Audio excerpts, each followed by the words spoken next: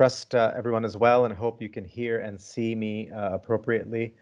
Um, good afternoon, and um, uh, it's a real delight to welcome everybody uh, to today's uh, discussion. I guess um, by way of introduction, my name is Salman Jafri. Uh, I am responsible for business development here, and over the next few minutes, not exceeding maybe three or four, I would like to play host and welcome everybody to today's conversation and maybe provide a little bit of context and commentary to set the stage for a very distinguished group of people from Kalantar Business Law Group, Alvarez and Marsal, ADCB, and Rothschild, of course, Hessam, Saeed, Esteban, and Saeed, uh, who you will all get to know and whose opinions we are anxiously awaiting. Look, uh, let me set the stage a little bit here to say, uh, at the risk of repeating what a lot of webinars are talking about right now, clearly uh, we live in a different world today. Things are different. The fact that we're having this engagement digitally and quite comfortable doing so have changed. Um, we must find this, uh, walk this fine line between uh, trying to extrapolate what's going to happen in the future and also kind of dealing with what's uh, changing today and I think uh, the right balance that we've seen is to uh, adapt as quickly as we can to the change in circumstances and be prepared for just about you know whatever uh, the markets throw our ways. The reality is, from what we've seen, uh, a lot of these structural and strategic shifts uh, are still ongoing in the markets, and we're very keen to hear what our experts have to say. But clearly, in the short run, a, a number of shall we say, tactical or operating uh, operating model changes have definitely happened. So, for example, the fact that uh, the digital agenda has been significantly accelerated across the board, whether you're a corporate banker or a retail banker or a restructuring person or an advisor or a consultant, right? Clearly, um, there's a different engagement, a different mode of engagement happening. But I think it'll be really interesting to see um, strategically and structurally how the economic impact of COVID pans out uh, globally and in the region. Uh, let me spend a minute and just recap kind of what we saw DIFC. Naturally, like like everybody else, uh, March, April, May was was very challenging for everybody. Uh, most importantly, for our clients, uh, for our community. Like everybody else, we buckled together and we tried to enforce successfully the uh, the rules of engagement on how to operate, uh, you know, uh, within this area, you know, within the business environment in terms of ensuring the health and security of our constituents. I think that that um, process went on for the first couple of months. Obviously, we were uh, we played an important role in executing the government's plan to for fiscal support for sectors. That happened, um, but it was clear initially that a few things were, were, were, were, very clear. The first thing was that this was something which was going to disproportionately impact big clients versus, uh, sorry, small clients versus big.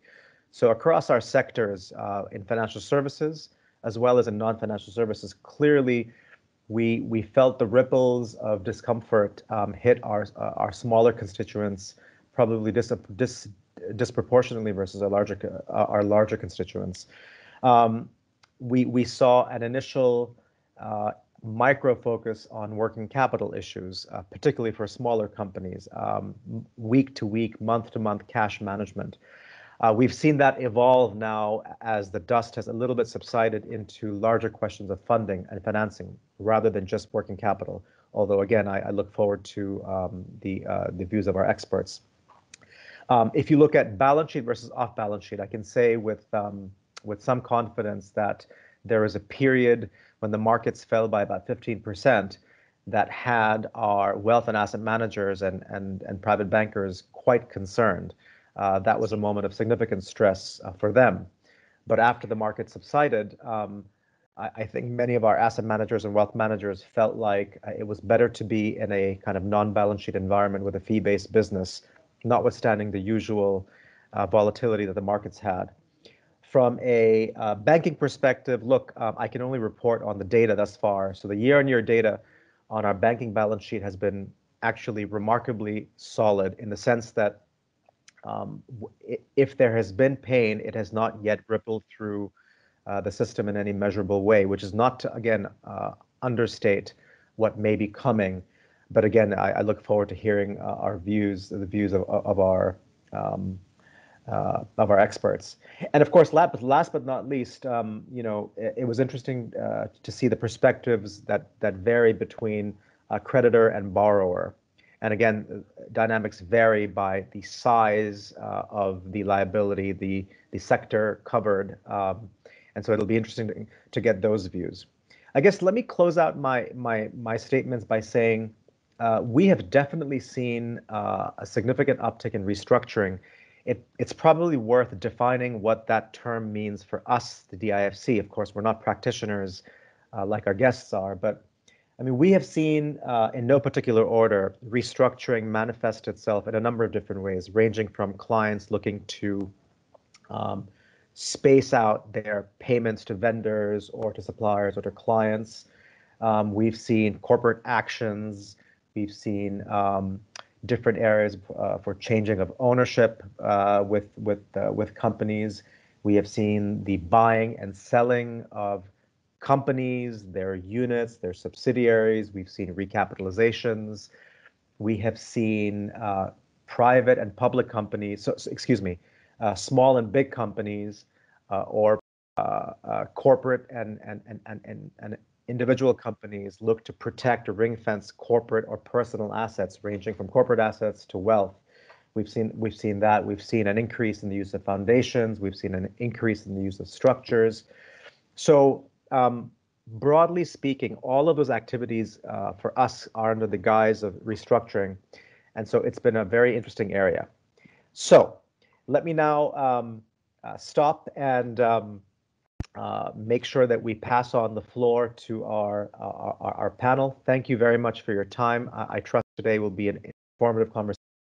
And let me pass on the mic and the floor to uh, Hessam Kalantar to take it forward. Thanks, everybody.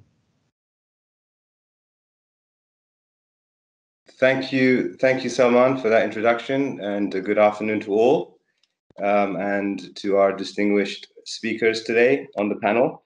I'm going to give a very quick introduction about myself, and I'm going to ask uh, panelists to then each introduce themselves. So very quickly about me, my name is Hessam Kalantar. I am the founder and managing partner of a boutique law firm based in the UAE, active in, in transactional matters predominantly, but we do a fair bit of restructuring work, especially in the SME space, M&A, joint ventures, uh, and we just advise on general commercial matters and on market entry strategies for our European and US clients. Um, I've been practicing law in the UAE for about 12 years, and prior to that, I was in the US, and that's where I'll leave it for uh, for myself. I'm going to hand the, the torch over to our, our first panelist, um, uh, Mr. Saeed Alawar. Saeed? Thank you, Hessam. Um, first of all, uh, thanks for the DIFC for hosting us uh, today. Um, um, just a few words about myself. Uh, I was Saeed Al I, I head uh, Rothschild's Middle East business. Um, and um, within Rothschild, for those who don't know what we do, uh, briefly, we obviously cover a wide range of um, um, uh, support that we provide clients, whether it's on the M&A side um, or the restructuring side, or, or even in healthy debt advisory situations as well. We also support uh, clients on equity capital market transactions as well. Um, our focus is on the financial advisory side uh, and, and less on the operational side. So we uh, will talk about um, our views and perspectives on restructuring um, restructurings in the region that are that have happened or are about to happen from a financial restructuring perspective. Um, but we have uh, worked on a number of high-profile restructurings in the past, such as Dubai World, um, Nakheel restructuring, um, Al Jaber, which is something I'm sure close to Esteban's heart, um, and, and, and and others that are that are um, that are probably uh, in the works at the moment. Um, uh, I'll probably stop there and uh, pass on to my other panelists. Sure, Esteban, uh, please uh, int introduce yourself. Yeah. Thank you. Yeah, good afternoon, all. I mean, uh, again, thank you for the DIFC for hosting this event. I mean, my name is Esteban Buljevic. Um, I head the workout practice of ADCB. Um, I've been doing restructurings for almost 30 years. My first one was in 1992. Have done uh, this type of uh, work in uh, more than 70 countries, five continents, you know. Uh, but lately, the last five years, I've been uh, based uh, locally in the region, so have basically practiced quite a lot in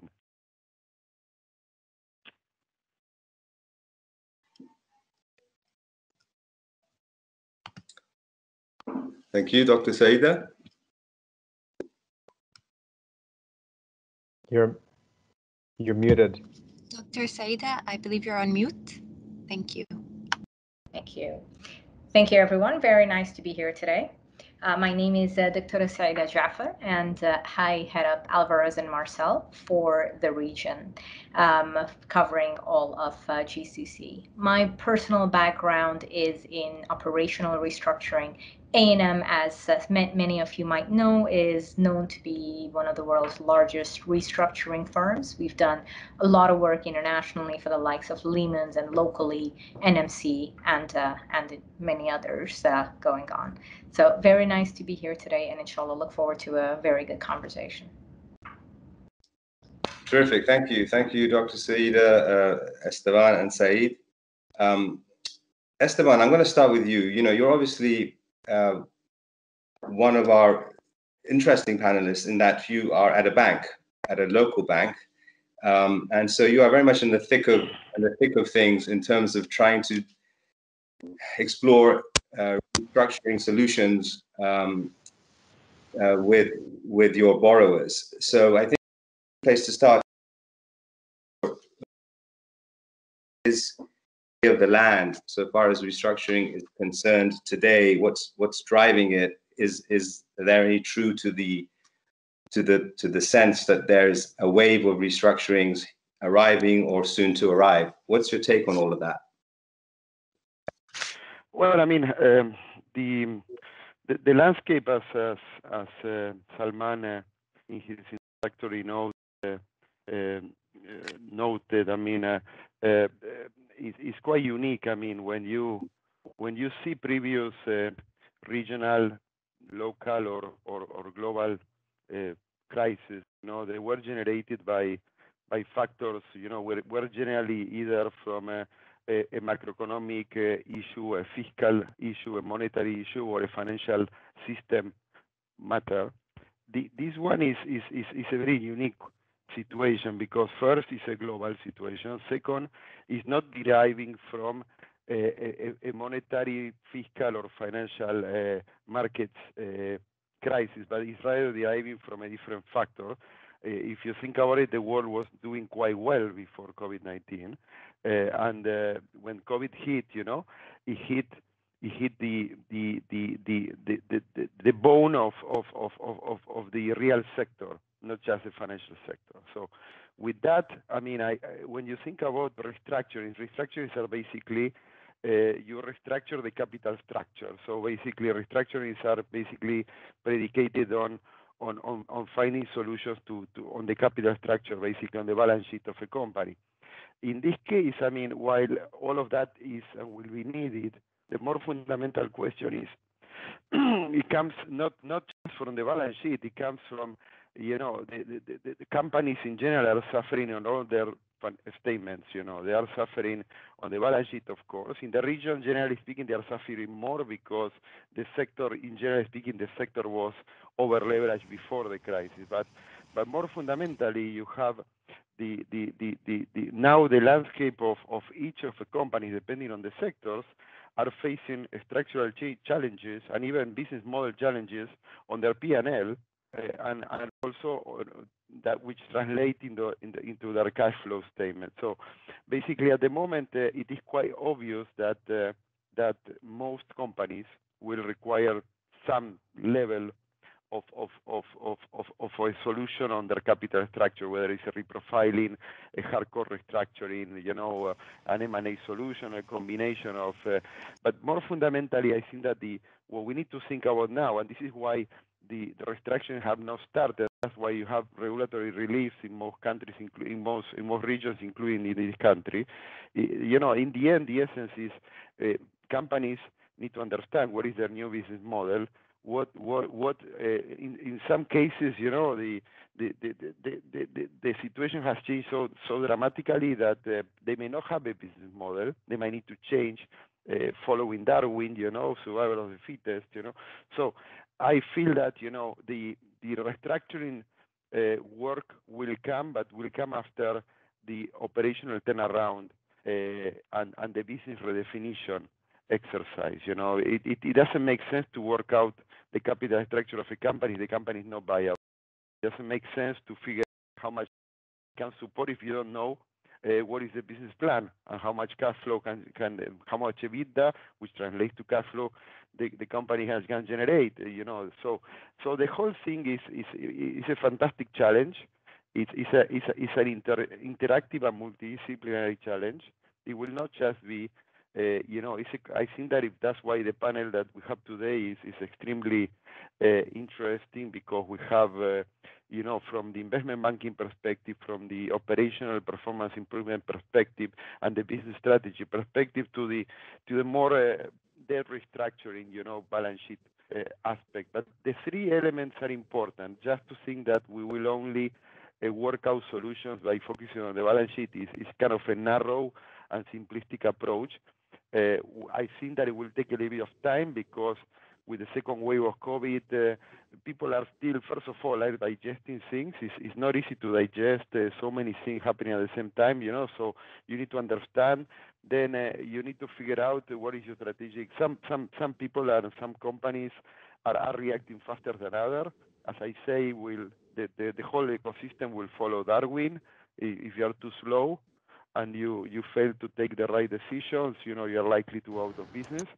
But uh, again, fundamentally speaking, the the exercise that any entity needs to need, that any entity needs to follow is, is, is, is an exercise that needs to be strategic, needs to focus on, on, on, on, on new business models, new ways of doing business, needs to be very proactive, you know, they need to close units, they need to close verticals, or they need to reshape them, they need to adjust to cost, they need to adjust to performance. All of these things are important at the same time. And perhaps in the end, uh, working on the balance sheet, it, it, will be a natural consequence of all these exercises. Super. Um, there's a couple of things you said, Esteban, that I want to pick up on. I want to turn it over to Saeed, uh, because Saeed, obviously, you know, as an M&A specialist, you have worked on some landmark transactions, uh, including um, acting for or being involved with uh, the sale and acquisition of, of government-owned entities. My question to you is, uh, well, there's two two questions. Are you seeing the strategies that are driving the M&A that you've been advising on um, being a, fallout or a consequence of the desire to restructure or the need to restructure? In other words, isn't is your M&A ancillary to a wider drive towards these companies uh, embracing a restructuring solution? Question one and question two. I wanted to get your your opinion on also on on the state of leverage and if you agree that altogether there's been uh, generally too much leverage. The banks have been too generous in recent years, and that's part of the problem.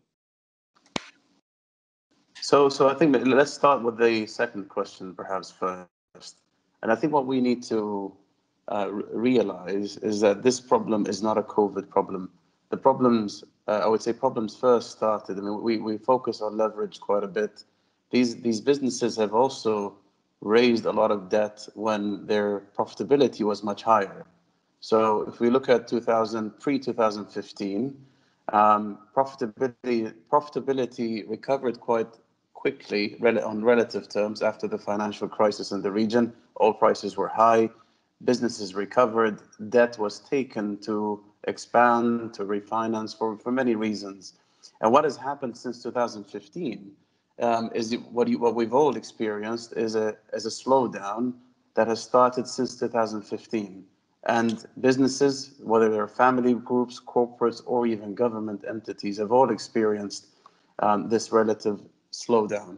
Um, and what has happened now is, uh, I think for a lot of people that we speak to, um, they saw a, a, stabilization probably in 2019 and, and some recover, signs of recovery. And unfortunately, um, obviously it's out, out of everyone's control. When things just manage to stabilize, and when I say stabilize, they're not stabilized at the levels pre-15. They're st stabilized, meaning they're not dropping anymore. Um, then COVID came and things got worse. I think we need to look at two parts of the equation. There is the leverage that is usually in a lot of these cases historic. Um, and there's the profitability of these businesses and the sustainability. As it goes to Esteban's point um, about restructurings, sometimes the business model is no longer viable and there is no longer restructuring to even talk about. Um, sometimes the business is just going through a cyclical issue. Um, and in some sectors, even within the construction sector, there are some elements of, I would say, medium term potential recoveries on some sectors within construction. So, so I, you'll have to look at these things, I would say, sector by sector. There are different dynamics for each sector, whether it's real estate related, whether it's healthcare, um, education. Yes, it's all in some shape or form connected, but they're all going through different dynamics. Um, and I think we need to assess each of them. And my point is you need to look at profitability, uh, which I'm sure we'll go on to the uh, later, later on in the discussion to talk about sustainable business plans and how people should think about those. And uh, Saida can talk about can talk about that talk about that topic uh, much more credibly than I can. Um, and then the other question um, is is going forward what do you do with this excessive leverage? Um, the next question you talked you, you asked about is on, the M&A front. Now, the solutions to difficult situations is not always insolvency. Um, we see that in different uh, different uh, situations. Sometimes coming together with another asset that is probably healthier from a capital structure perspective can help alleviate or resolve the issue. Um, some of the it, it, really comes down to again, I would say, is there a business viability? Is this business sustainable in the long term? Um, and does it have a, a, a, tolerable amount of leverage that an M&A that, that an M&A transaction makes it uh, makes it make sense? Do we see signs of this happening? The answer is yes um, we do see an increasing level of um, of, of appetite to, to, consider potential consolidation. It's not an easy topic um, in any way.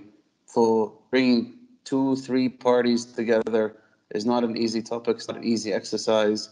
Um, but we do see elements of that coming up and people thinking about coming together to be more resilient going forward. Clear, clear. So, the, so, the, so the, the maybe controversial label of distress M&A that you hear mentioned on the street, some that would potentially apply to the sorts of deals you've been advising on, at least to some, if not all, where there's a there's liquidity concerns, perhaps, or or um, is that fair to say? I, I, I, wouldn't say that the transactions we were involved in were distressed in any shape or form. I think what I would say is, do we see transaction flows in the market uh, that have signs of distress? Yes. Um, are there, are there um, and I think it goes to Esteban's point as well, a lot of these corporates, including the government, I think the government is acting extremely proactively in trying to think about solutions for their own assets as well and, and what they're saying, governments and corporates alike, they're saying, how could we come? The, market is not going to go back to the pre 2008 levels. It won't. It may not come back to pre 2015 levels immediately in the in the medium term. So we need to think about how can we be resilient together. And people are thinking about those positions. So they're not. These discussions are not distressed discussions. Um, they're discussions. Uh, I would say they're definitely more uh, rational discussions. They're they're tricky because bringing any two parties together is not always easy. Um, and so uh, it's I would say it's, it's, different in different circumstances. I mean, the distress, to be honest, only comes up, I would say, in extreme extreme cases where the business has fallen apart. or is about to fall apart. Um, I don't think we see that um, prevailing in the market at the moment. There may be one or two circumstances, but otherwise, the general sense of the market right now is that there's there may be some, but it's not the um, it's not the I would say the highlight of the market at the moment. It may change, and there's an expectation that this may change next year. Clear. Super. That's that's that's very interesting, uh, uh Dr. Saida. Also, I want to turn to you, given your expertise and perhaps more of the operational aspects and sort of the, the business optimization techniques that you advise your clients on, uh, given the challenging environment we're in. Um, when I think about business models changing and the viability of businesses coming under the spotlight, I think of, well, I think of some of these legacy industries that are perhaps disproportionately hit, right? I mean, we think of where we are and we've got things like uh, family businesses that are active in in automotive or commercial leasing, or there's the food and beverage space, the entertainment space, hospitality, and all, all of those things. Um, and then, of course, we've got the new means of consumption, you know, all this embracing of technology, e-commerce, doing meetings on Zoom and so on. So my question to you, Dr. Saida, are you seeing, are you advising on in both of these areas? Are you advising sort of the legacy, more traditional bit businesses on how to be perhaps more contemporary, uh, and, and, are you advising clients on on shifting their offerings to meet the behaviors of consumers today? What what's what's going on there uh, there for you? Um, any, any insights you can share? Sure, absolutely. Look, I think what we're seeing is uh,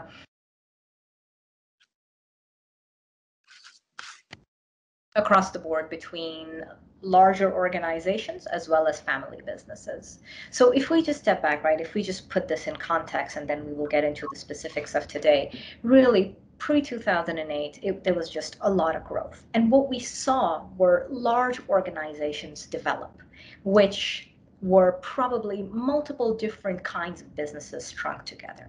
These could be family businesses, these could be others, right? Large, complex organizations strung together. And what would typically be the case is these would be organizations or these would be businesses that were fairly asset heavy, that were fairly integrated and monolithic in, in terms of their value chains. So you, we, there were these, what I would say, traditional clunky businesses put together then we, well 2009 happened and frankly it went down but recovered relatively quickly and i would say from 2010 onwards there was a, a change that was sparked across globally but also very very much locally that was around digitization around the disintermediation of asset heavy and asset light, the owner and the operator mindset. So all these things slowly started building up. And I think you saw the undercurrents of these going until probably about 2015. Then, as as Saeed and Esteban mentioned, right, there was another a bit of a slowdown in 2015, and that's when you saw a lot of these alternate business models really and truly come to the forefront because they had a lot of the flexibility and the ability to react and respond very quickly, to focus on customers, to focus on what was needed as on experiences as opposed to products. So you saw a lot of these things develop and grow to the point where we are today. Today, if we look at it, if you look at a lot of the, let's say, businesses that have been around for a long time, what we tend to see is there tends to be the business part. That is either a B2B or a B2C business, which still tends to be quite traditional, still tends to be quite integrated, and still tends to be asset heavy. In addition to this, if it's especially if it's family office or some of the others, there tends to be a heavy real estate component a fairly heavy uh, real estate component that's accumulated over time. And these could be either land banks, these could be assets, what, a large number of different things, which are not always looked at uh, through the lens of, uh, of commerciality. And then there's usually a third element, which is around all other businesses is the way we put it. So there is the the pillar one, which tends to be the the revenue and the cash generator. Pillar two, which typically tends to be around real estate, and then pillar three, which tends to be a lot of other businesses. What we're seeing today is fundamentally pillar one is under stress. and you look across the board, right? These could be traditional things like construction. Then these could be more things like uh, retail, you know, you name it, right? All these businesses are fundamentally under stress, partly because of people, the changing preferences, the decreasing spending power, but also partly because of digitization. So there, that fundamental pillar one is under stress. Pillar two is real estate. We won't, we don't need to talk about that. I think we all know what's going on in real estate. And then pillar three tends to be these other businesses that are have typically been a drain and are now increasingly being looked at much more critically. So as a result of this, what we are seeing much more is when we go into businesses, we look at them, we look at the portfolio, and very clear, very early, very quickly, we can say, look, out of the portfolio that you have, this is the group that, frankly, is not a, a, a viable business model. We don't think that this is either something that's going to be around or something where you are the natural owner. Once we park that, then we say, let's look at the core. And then we look at the core and we say, how do we take that core and make the business model such that it will work? Sometimes there are more temporary issues, but quite often these tend to be, there tend to be issues around there's a need for digital there is a need for making the operating model much more flexible so that you minimize your fixed costs. You, you, you, try to make things as variable as you can so that you can scale up, scale down as is necessary.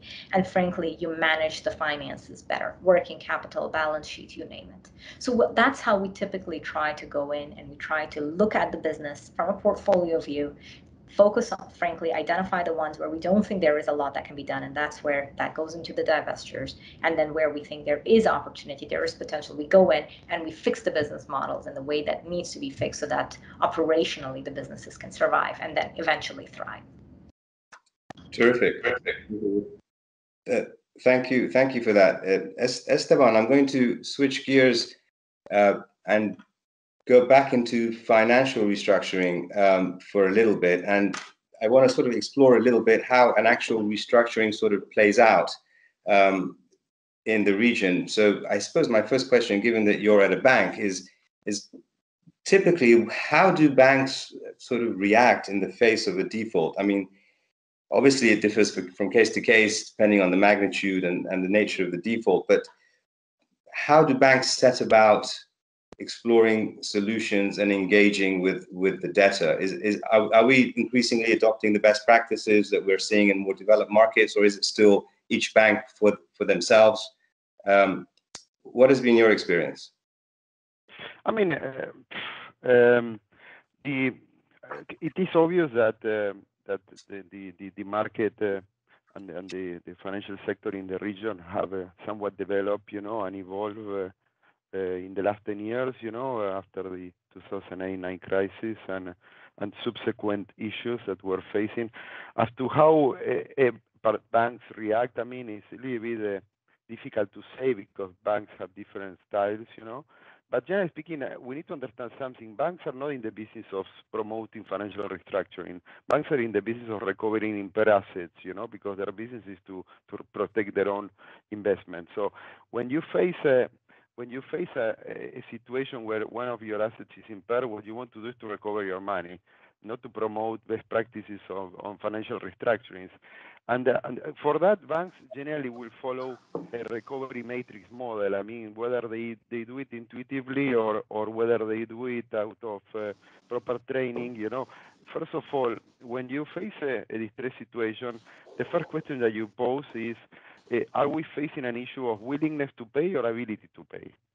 And uh, in the region, unfortunately, half of the times you have an issue of willingness to pay more than ability to pay, in which case banks uh, don't focus that much on, on, on, on, on, on financial restructurings and following proper uh, INSOL principles of the or the like because they they know that the, the, the, the borrower or counterpart or sponsor could pay, you know, if they wanted to. Okay.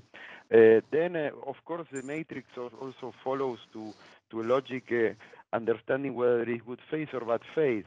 You have many cases where you have flagrant bad faith, whether it's fraud or quasi-fraud. So that also will dictate what is your approach. In the third, also, you know, what you, need to understand in, many instances you will you will follow as well. You will need to analyze what is the debt burden capacity of your of your counterpart and what is your collateral. So, I mean, uh, I would say uh, banks will follow and determine a strategy on the basis of uh, multiple factors. Again, when you have a lack of lack of willingness to pay, banks will become quite hostile, and uh, and many counterparts will want to protect behind uh, these uh, workout or principles or stuff like that. Uh, but going back to the to the core of this uh, to, of this seminar, which is basically a case where you have a good faith counterpart facing genuine financial distress, which is in a way posing challenges on its ability to pay and requires support from banks. Uh, generally speaking, you are talking about multi-creditor processes. So in those cases, I would say that depending on the scale of the cases, uh, banks uh, have uh, have evolved, and uh, we have seen over time that is easy or is is is is, is I wouldn't say easy. It it is uh, it is possible to work with banks on a on a coordinated way. When it comes to uh, mid market and uh, you know it, it, it, becomes more complicated. Uh, banks generally uh, would not. Uh, perhaps because of staffing issues or the type of relationship managers that handle accounts and stuff like that. But I would say when a, a company in the mid-market sector faces uh, financial distress, it generally has a higher challenge in bringing together banks, you know, and working out solutions. Right. So the bigger, in a way, the bigger the better in terms of. Uh, I'm I'm just curious to know, like we've heard and we've seen significant reforms in recent years, right? Where you where you've got for example, the, the mainland UAE bankruptcy law of 2016. So you, you would think that these reforms are, are at least increasing the option of solutions so far as debtors are concerned. And I'm just curious to know if that has moved the needle at all. Are you seeing more business rescue initiatives like uh, uh, like rehabilitation, basically, uh, being deployed today, whereas in the in the past it wasn't really an option? I mean, I must say that uh, the this is a, a, a this is a, something uh, an area where uh, there is a need for for doing more. Uh, yes, there has been a, a, bankruptcy law issue in the past. Uh, perhaps uh, there is a need to do more. Um, the, there is not just having a law. You need to have a law. You need to have the infrastructure, the judicial infrastructure. You need to have the culture. You need to have an, a, you know, an environment conducive to, to promoting uh, financial rescues in court or out of court. Uh, as you as you know, as you may have seen, uh, most cases have been out of court. it's difficult to work cases out of court when they are when they are large, complex, and multi-creditor driven. Um, so I feel that the, the, the, one of the one of the hot topics of restructurings in the region is is as to how to develop or further develop and how to really grease uh, processes judicial processes, whether it's offshore or onshore processes. You know, this is key. Uh, you see, in Saudi enacted the law later than the UAE, and uh, but it, it, seems to be working a little bit better. I mean, it, mm-hmm. you have some cases that are there and are working.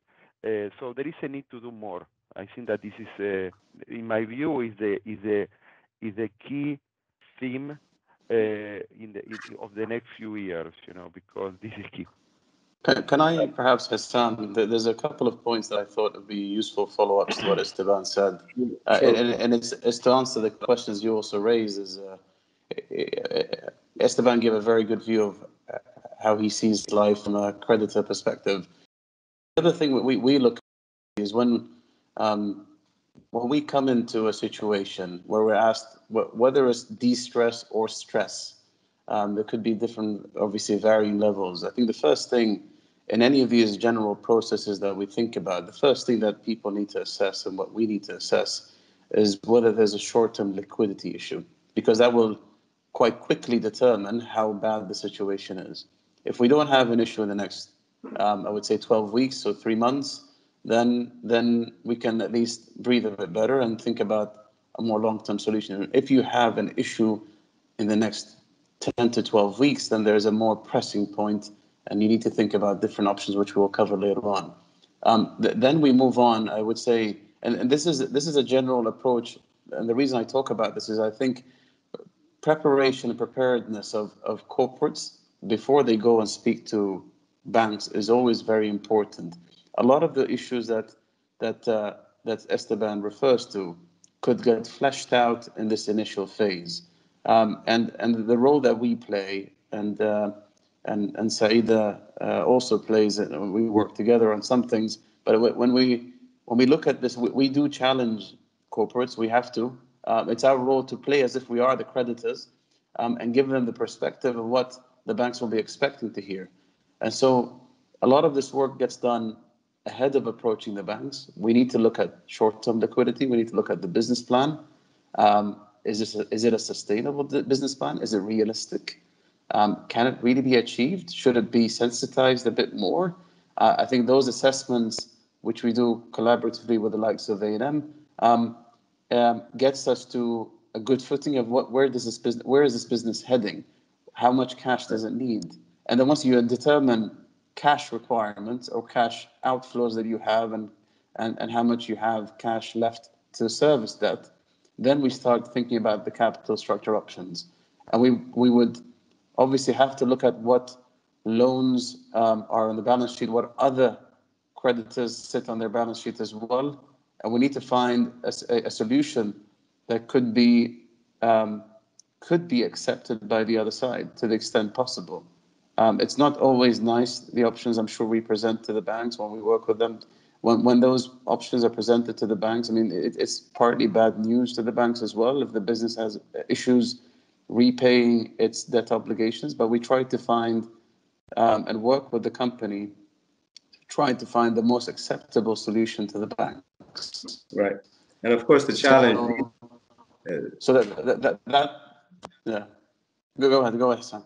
No, no, I'm just saying that obviously the challenge that we're all that's facing everyone these days is getting a reliable business plan out of the borrower, right? Because there's so much uncertainty out there that uh, the business plan that's going to underpin the ability to service that debt will have to be so scrutinized and everyone's sort of taking a gamble uh, at, at, trying to put the line in the sand. Hundred percent, and I'll let I'll let Saida comment on that in a second. The, the, only last point I would comment on is I would put my voice with Esteban and, and say that we do need, in the UAE specifically, we do need some, and I know there's been some recent change to the bankruptcy law. Um, um, we're, we're, still getting to the to, to grips with what that entails. We saw also some good initiatives around checks. I think that's helpful. That's a helpful, um, I would say, wider reform of of of, of the creditor market. Um, but I think we need more. I, I, would say the DIFC definitely has a framework that is quite helpful. Uh, we did see uh, in the NMC case that the ADGM courts were used. Uh, the question I have is could the DIFC be used for some of the large scale um, insolvencies or, or restructurings? Um, the challenge that we have, Hessam, whenever we face financial restructurings, and this is no criticism to the banks, but it, it, there's there's really no tools that are available. Um, the tools are quite weak that are available to a, a borrower to herd the banks together. And one small bank could become the, your biggest problem. And so, without a solution, without the tools to to bring the banks together or force them to accept the solution, uh, you're you're held in this restructuring discussions that take years to get resolved, which is not helpful, not even to us. And people think that this is helpful to us as advisors. No, it's not. It's the contrary. We actually don't like things to get to drag for too long. So, so look, they, this is uh, this is the other point that I wanted to make. Maybe uh, Saida can comment on the business plan point because it's definitely on the minds of a lot of people. No, no, no, I, absolutely. I want to bring Dr. Saida in um, to to talk uh, to talk about that and also to talk about you know, perhaps other factors that are exasperating the problem, maybe in the space of governance at the at the board level, or perhaps, you know, timely and accurate and reliable information being shared among stakeholders Uh, so the question to you, to you, Dr. Saida, is uh, is you know where are the gaps uh, that you think are perhaps exacerbating the problem?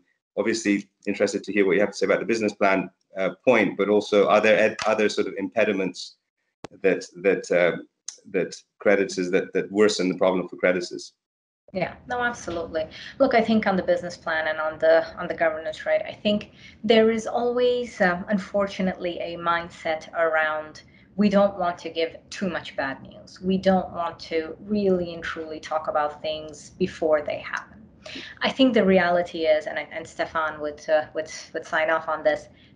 Banks and frankly the markets would rather know once upfront what is going on, what is the reality, they would rather we be conservative and we you know what even if we overshoot in terms of how bad we things are going to be they would rather we have that and frankly get a little bit of good news more positive later as opposed to give news today and then six months later go back and then six months later go back and i think the, the unfortunate mindset is that we tend to be quite often people tend to be much more optimistic and very, very, very hesitant to say, you know what, it actually might be worse than we think it might be, which leads to this continuous feed, continuous issues, continuous pain. So our advice always is, you know, whenever we go in, we look at the business plans and we say, how comfortable are you? If you are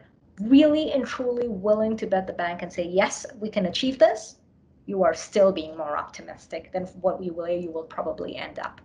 Frankly, build in the buffer, build in a little bit of space because nobody's ever the banks are not going to come back to you and say you told me you will get to x you got to x plus right and and, and it's a it's going to be a painful conversation just that doesn't matter just take the pain up front and let's move on so I think that's that's one very important factor that I would say.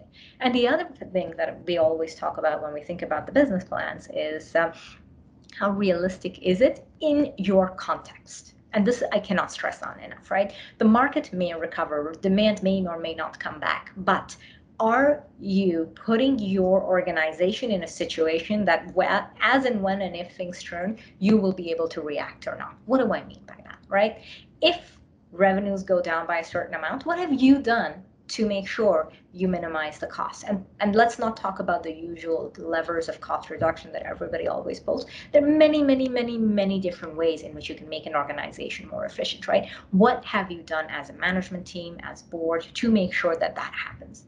And that's where a lot of uh, governance also comes into play. Because typically, if you look at it, the way things are reported is it tends to be very, very mathematical.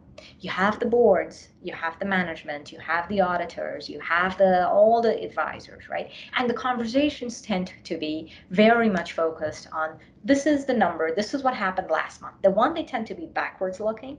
Two, they tend to be very, very numerically driven if it's there, not insight driven, not action driven as opposed to creating the platform which says, listen, this is where we think the future is going to be. This is where we think the insights is, and therefore we think this, these are the business decisions that we need to drive.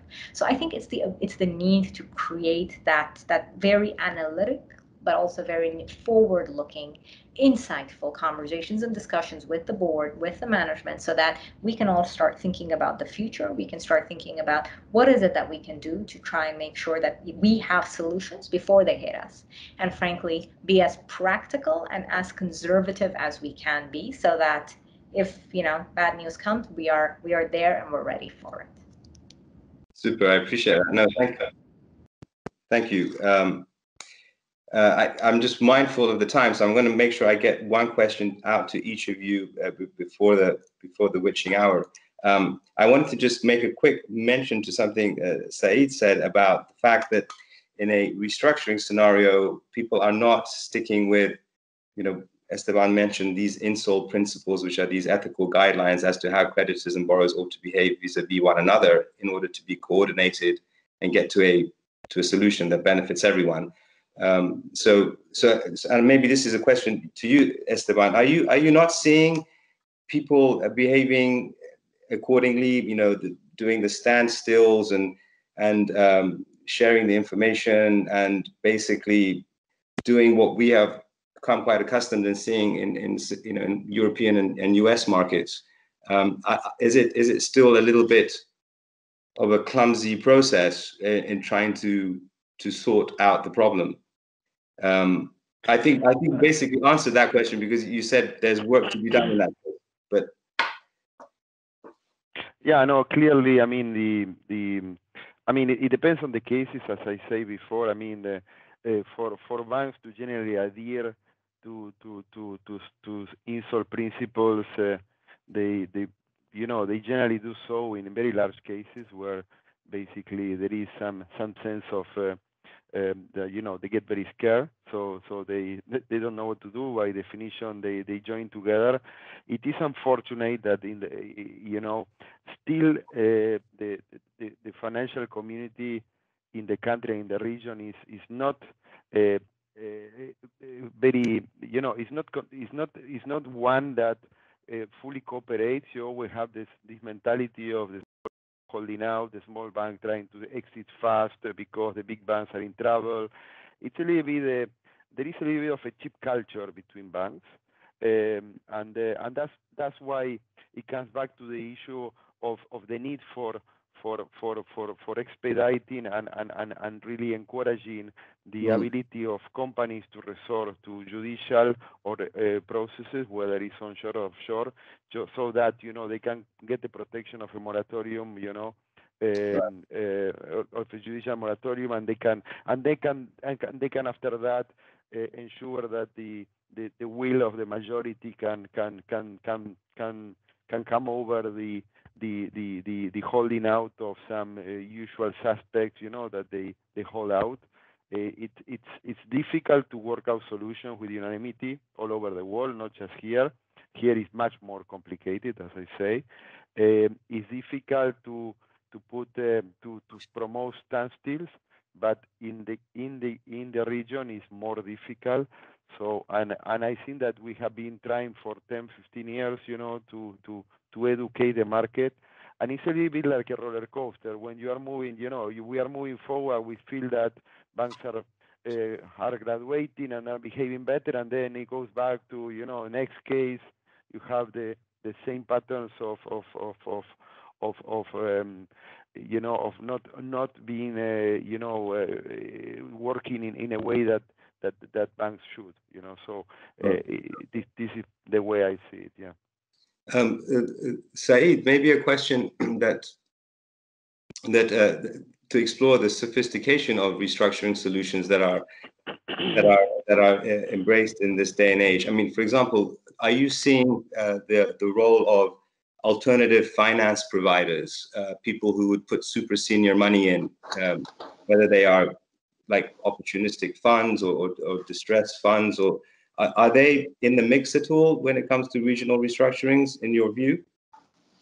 Yes, uh, I mean, uh, look, just to give you a quick answer, the answer is yes. Um, we they are they are around. Um, these are predominantly, depending how stressed the situation is, but uh, on varying degrees of stress, there are different pockets of liquidity. Um, uh, the, I would say the more extreme ends is usually hedge funds, hedge, the hedge fund nature of, of funds that, that would come in.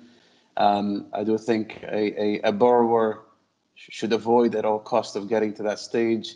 Um, if you say, if, you, if we talk about probably not completely distressed, but to some extent stressed, um, then there are mez lenders, um, and these are global funds that are willing to provide mez loans um, on preferred structures, etc. And these are um, things that we are working on and in discussions with, and they're all looking at assets in the region.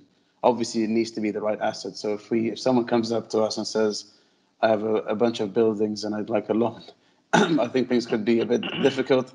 Um, if obviously if those if those buildings are have long-term leases with the government entities, then I think the, the short answer is depend. It, it really is driven by the quality of the asset. Um, and if the quality of the asset is right, even if it's stressed or distressed, um, institutional global funds would look at it. And there are regional pockets as well um, that would also look at things like these.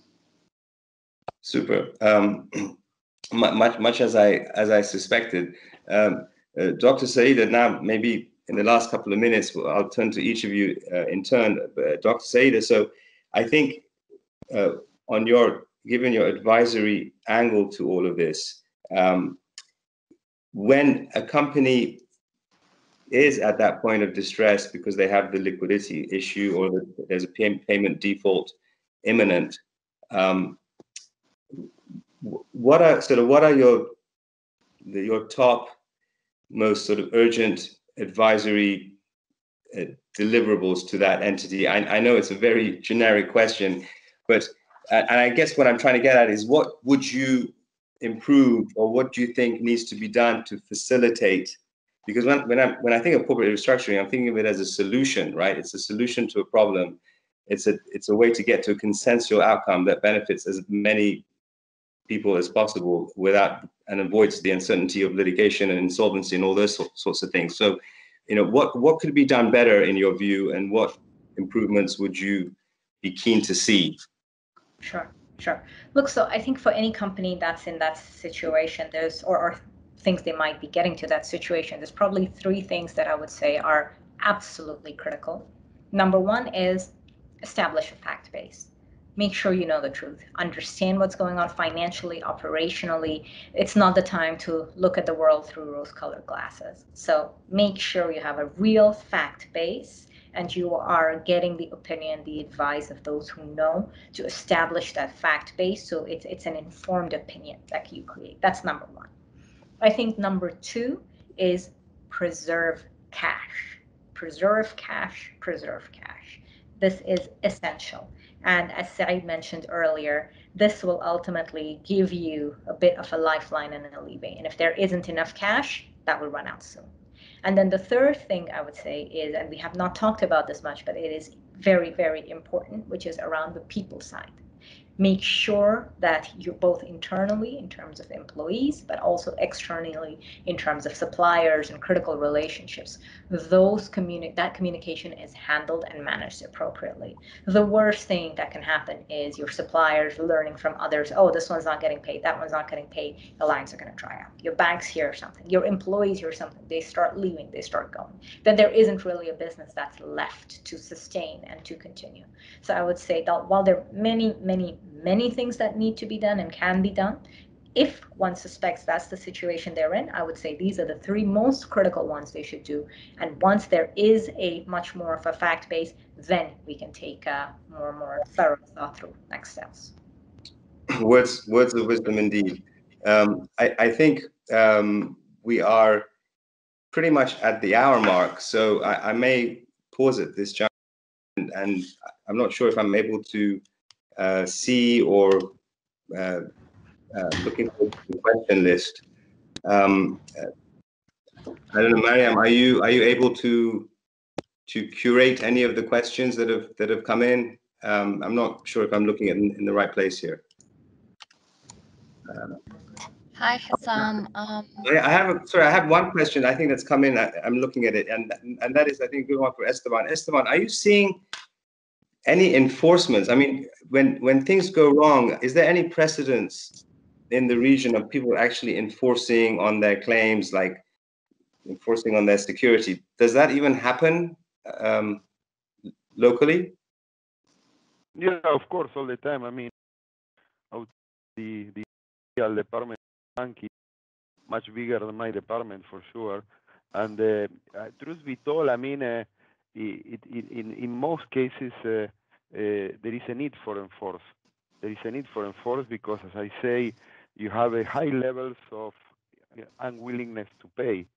Uh, and and in most cases, so as I say, I mean uh, the, the, financial restructuring again is is one is one is one approach to to to to account that is impaired. It's not the only approach, and uh, and uh, most in, most in many instances, you know, enforcement is the right thing whether because you want to improve behavior and you want to mm. and you want to force a solution that your counterpart is not willing to accept or whether because you know you there are no grounds to working out the solution so the, you need certain uh, uh, again i mean it's, it's, going back to a restructuring book but you know financial restructurings are a solution that is, is a, a very good one to preserve going concern value, but there are not, uh, it's not a one size fits all proposition. Banks enforce and enforce a lot here. Uh, more, you need to understand that the most of the, the, the lending practice in the region is secure. It's a secure base and, Right. and it, it, it carries security, tangible security, and it carries personal guarantees. And banks will enforce personal guarantees, we will enforce security, and, also carries checks, which uh, introduces a, more complex dimension because of the, the criminal nature of uh, bounce checks, you know, which is something that I hope that changes over time, you know. Right, right. And a lot has been done in that space, including the, the personal insolvency law of, of, I think, this year that is trying to decriminalize that sort of thing and allow even a person individually to to uh, agree an outcome with, with their creditors. If Um, you ask me, I mean, I think that to to to improve the the healthiness of the financial sector, uh, you know, they, they, they, there is a need to stop the criminalization of che- bounce checks, and also, uh, I would argue that the personal guarantee should be forbidden, you know, so that banks will focus more on on the creditworthiness of a particular uh, loan, you know, because now banks, the, the, the, the, the, the lending practices of banks need to improve as well. I mean, financial distress is the flip side of the coin of bank lending because you have many cases where you are your asset is impaired because you you basically lend wrongly and badly. Mm. Other cases you you you you made a wrong loan and then for for for, for subsequent reasons your your your borrower faces distress, in which case you need to work out a solution. But if you cannot work out a solution if if if, if you did a bad loan, if the loan is a bad loan, uh, you, it becomes a more complex proposition. Understood. No, that's that's very that's very compelling, and and I, can totally understand. Uh, I'm going to actually now pause and step back and give a huge uh, thanks to to to you, Esteban, Dr. Saida, and Saeed. I think we've gone over the time, the allotted time slightly.